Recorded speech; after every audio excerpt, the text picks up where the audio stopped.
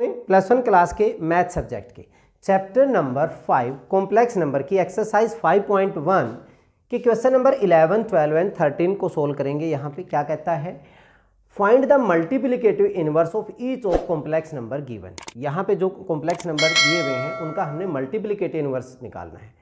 देखिए, हमने आपको इंट्रोडक्शन में बताया था कि अगर हमारे पास z कोई कॉम्प्लेक्स नंबर है तो z का जो इनवर्स होता है, वो क्या होता है? Z का कॉन्जुगेट डिवाइडेड बाय z के मॉडुलस का स्क्वायर ये वैल्यू हमने फाइंड आउट करनी है। तो हम यहाँ पे मान लेते हैं let z is equal to four minus three of iota हमने इसको कॉम्प्लेक्स नंबर z मान लिया। z का कॉन्जुगेट क्या होगा? कॉन्जुगेट में हम क्या करते थे? आयोटा वाले वैल्यू के साइन क्या कर देते हैं? चेंज कर देते हैं। तो ये हमारे पास क्या बन जाएगा? फोर प्लस का थ्री आयोटा ठीक है? इसके बाद अगर हमने मॉडलस निकालना है तो मॉडलस क्या होता था हमारे पास? रियल पार्ट का स्क्वायर प्लस रियल पार्ट का स्क्वायर प्लस इमेजिनरी पार्ट का स्क्वायर यही तो होता था। मीन्स रियल पार्ट हमारे पास क्या है? फोर का स्क्वायर प्लस माइनस थ्री का स्क्वायर क्या बन जाएगा? फोर का स्क्वायर सिक्सटीन प्लस नाइन हो गया। ये हो गया हमारा मॉडलस ऑफ़ जेड अगर मुझे मीन्स रूट ट्वेंटी फाइव अगर मुझे मॉडलस का स्क्वेयर बताना है तो इसका स्क्वेयर रूट हटा दीजिए। ये वैल्यू कितनी हो जाएगी? Twenty five this is modulus Z square अब हमें निकालना है इनवर्स तो देखिए इनवर्स कैसे निकलेगा? जेड इनवर्स वैल्यू क्या है हमारे पास? Z conjugate divided by model square conjugate की वैल्यू हमारे पास क्या आया था? फोर प्लस थ्री आया था। डिवाइडेड बाई ये हमारे पास कितना हो गया? ट्वेंटी फाइव अलग अलग लिखेंगे हम इसमें। That is four upon twenty five plus three upon twenty five iota ये हमारे पास क्या हो गया? इसका इन्वर्स हो गया। अच्छा कई बार अगर मान लीजिए हम ये भूल जाएँ फॉर्मूला भूल जाएँ, तब हम किस तरीके से कर सकते हैं? इसका इन्वर्स अगर हमने निकालना है। जेड हमारे पास, देखिए फोर माइनस थ्री आयोटा है। तो जेड इनवर्स क्या होगा? One upon four minus three iota ठीक है?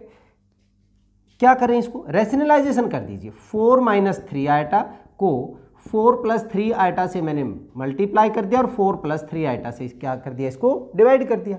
ऊपर मल्टीप्लाई होगा that is four plus three iota नीचे A plus B into A minus B means A का स्क्वेयर माइनस थ्री आइटा का स्क्वेयर बी का स्क्वेयर ऊपर तो फोर प्लस थ्री आइटा है। नीचे देखिए, फोर का square sixteen minus three three जा नाइन आइटा स्क्वेयर अब आइटा स्क्वेयर की वैल्यू क्या होती है? Iota square is equal to minus one four plus three iota, यहाँ पे माइनस वन पुट करेंगे तो प्लस का हो जाएगा। मीन्स सिक्सटीन प्लस नाइन तो ये वैल्यू कितनी बन जाएगी? ट्वेंटी फाइव आइटा स्क्वेयर की वैल्यू माइनस वन ये प्लस का हो गया सिक्सटीन प्लस नाइन यही तो वैल्यू आ गई हमारे पास। अलग अलग करेंगे तो four upon twenty five plus का three upon twenty five iota. ये वैल्यू आ गई। ठीक है? कई बार अगर बाई चांस आप भूल जाएँ तो बहुत आसान तरीके से आप इसका इन्वर्स निकाल सकते हैं। चलिए, अब हम क्वेश्चन नंबर ट्वेल्व पे चलते हैं। लेट इसमें भी हमने z क्या मान लिया? This is root five plus का थ्री आयोटा तो पहले हम क्या निकालेंगे? कॉन्जुगेट कॉन्जुगेट निकालेंगे रूट फाइव प्लस का थ्री आयोटा का conjugate root five sign change कर दीजिए। माइनस थ्री आइटा हो जाएगा। Now what is Z modulus का स्क्वेयर अब की बार मैं स्क्वायर रूट लिख नहीं रहा हूँ। पहले मैंने स्क्वायर रूट लिखा था। स्क्वायर रूट नहीं लिखला डायरेक्ट उसका स्क्वायर रूट हट जाएगा स्क्वेयर में। रियल पार्ट का स्क्वेयर मीन्स रूट फाइव का square plus three imaginary part हमारे पास कितना है? थ्री थ्री का स्क्वेयर यही तो होगा। अगर अकेला मॉडल से लेते तो इसमें स्क्वेयर रूट लेना पड़ता हमें। ये वैल्यू कितनी हो जाएगी? फाइव रूट फाइव का स्क्वेयर प्लस का nine that is fourteen so modulus of Z square is equal to how much fourteen हो गया। अब हमें निकालना है जेड इनवर्स। जेड का कॉन्जुगेट डिवाइडेड बाई मॉडलस का स्क्वेयर। कॉन्जुगेट वैल्यू हमारे पास क्या आई थी? रूट फाइव माइनस का three iota and divided by how much? Fourteen. तो वैल्यू क्या बन गई हमारे पास? अलग अलग करेंगे हम। Root five upon fourteen minus three upon fourteen into iota this is inverse of this complex number. देखा आपने, बहुत ही आसान है। इसको भी आप इस तरीके से निकाल सकते हैं। आपकी मर्ज़ी, आप किसी भी तरीके को अपना सकते हैं बट हमें स्टैंडर्ड इस फॉर्म में से ही निकालना है। अगर भूल जाएँ तो आप ये तरीका अपना सकते हैं। चलिए, अब हम थर्टीन क्वेश्चन करते हैं। क्वेश्चन नंबर थर्टीन इसमें हमें जो कॉम्प्लेक्स नंबर दिया हुआ है, अकेला माइनस आयोटा दिया हुआ है। तो let z is equal to आप इसको कैसे लिख सकते हैं? ज़ीरो माइनस आयोटा भी लिख सकते हैं हम। स्टैंडर्ड फॉर्म में अगर हम लिखें ए प्लस आयोटा बी में तो ज़ीरो माइनस आयोटा लिख सकते हैं यहाँ पे। सबसे पहले हम क्या निकालेंगे? Conjugate. Means zero minus iota का कॉन्जुगेट निकालोगे तो प्लस का क्या हो जाएगा? Zero plus iota. ज़ीरो लिखें या ना लिखें, कोई फ़र्क नहीं पड़ता। अब हम निकाल रहे हैं मॉडलस का स्क्वेयर। मॉडलस का स्क्वायर निकालेंगे तो रियल पार्ट का स्क्वायर। रियल तो ज़ीरो है, ज़ीरो का square plus imaginary part. Imaginary part में हमारे पास क्या है?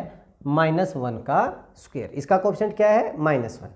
ज़ीरो का स्क्वायर ज़ीरो हो गया, ये हमारे पास वन हो गया दैट इज़ वन। अब z इनवर्स हमारा क्या होगा? कॉन्जुगेट डिवाइडेड बाई मॉडलस का square. What is conjugate conjugate में हमारे पास ज़ीरो प्लस आयोटा हो गया एंड डिवाइडेड बाई वन। तो ज़ीरो लिखे या ना लिखे, हमारे पास ये ज़ीरो प्लस का आयोटा ही रहेगा दैट इज़ आयोटा। तो माइनस आयोटा का जो इन्वर्स है, वो क्या है? प्लस का आयोटा। चलिए, बहुत ही आसान थे, तीनों क्वेश्चन बहुत आसान थे, और आपने बड़ी आसानी से इनके मल्टीप्लिकेटिव इन्वर्स निकालने सीख लिए। चलिए, इस वीडियो में इतना ही। नेक्स्ट वीडियो में अगले क्वेश्चन के साथ फिर मिलते हैं। तब तक के लिए जय हिंद, जय भारत।